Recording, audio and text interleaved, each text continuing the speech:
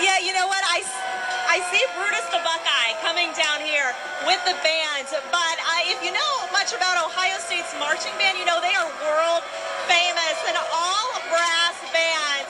I was talking to some of the, uh, I don't want to call them kids, students this morning in the band, and they were saying that they grow up dreaming to be in the Ohio State uh, marching band. They have traveled all around the world, including a trip to London this year.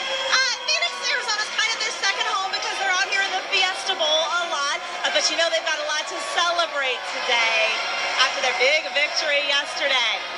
Let's go ahead and listen in.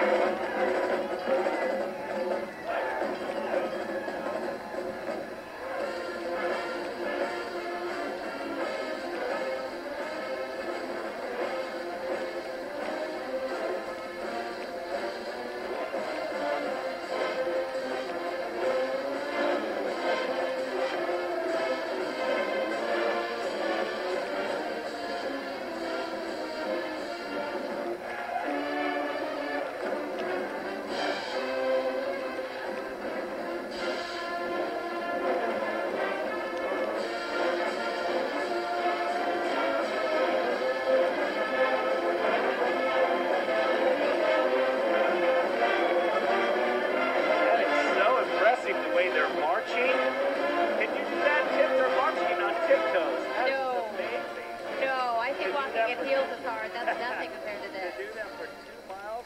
And uh, this band has a history of dating back to the late 1800s. Wow. All the way from Columbus, Ohio. And like April said, they love it here in the uh, nice warm climate of Phoenix, Arizona. Uh, yeah, and celebrating a win from the Yes. Bowl, so even more to um,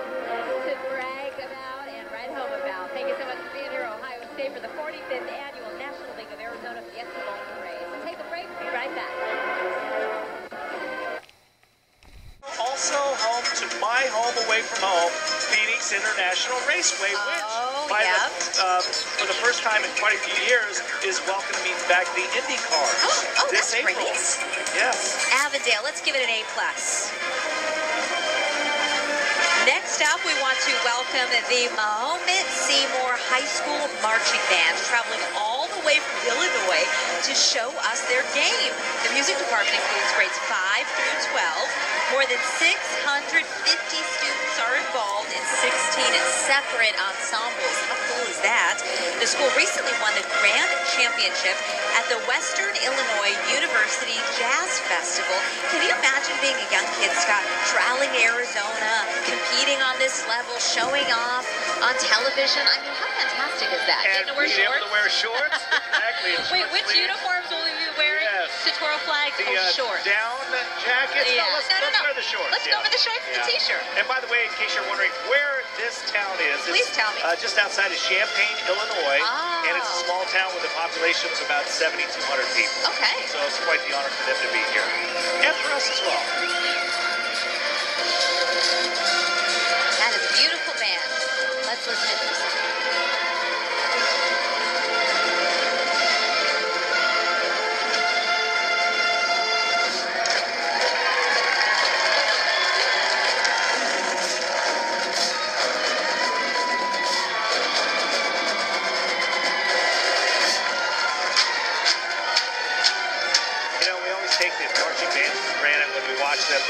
Them, but to be able line, your feet exactly like the person next to you, blowing your horn. I mean, I was I was third or fourth chair trumpet in fifth grade. I don't think I could have done that. It You know, really is chair just incredible. doesn't get it no, you. no, you wouldn't have made the line. There's, they're so precise, and there's just so much pride in the impeccably cared for uniforms, that beautiful plume, uh, the chin up, the fantastic posture. Kind of makes you want to sit a little taller in Yes, your seat, right? And let's face it, Let's not the uh, football games for high schools and colleges would not be the same without No. the fans. Is that And, right? and a parade wouldn't be the same. I well, mean, you cannot have a good parade without some great marching bands. So we thank you so much for traveling here to Arizona. All right, welcome.